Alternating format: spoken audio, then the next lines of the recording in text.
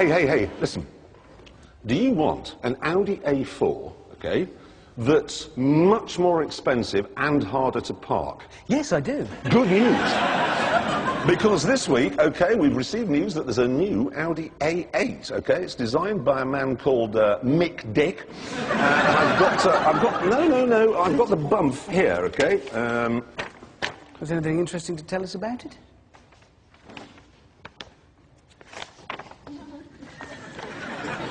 Such noises hung on to. There's about lips on that. No, Well, what does it look like? no idea. This is the picture they sent, okay? It's under a cloth. Yes. And who's he? That's Mick Dick. Oh, that's him. Yeah. Best friends, as it turns out, of uh, Billy Willy.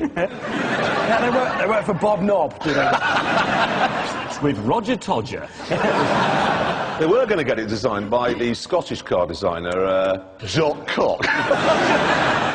Actually, there was something interesting in here, okay? There was, genuinely, right? Because what Audi has done is they've outlined what the A8 customer is, and they say He's highly affluent, uh, this, uh, an average income of $500,000 a year.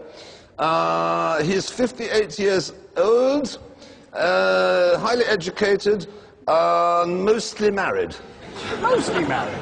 What is that? What, so he's sort of married, I don't know, down to there? And this bit is separated.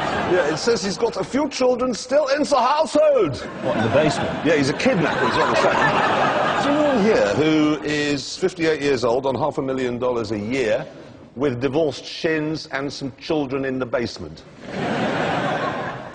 oh dear, Mick Dick's cocked up. He's built a car for someone who doesn't exist. Yeah.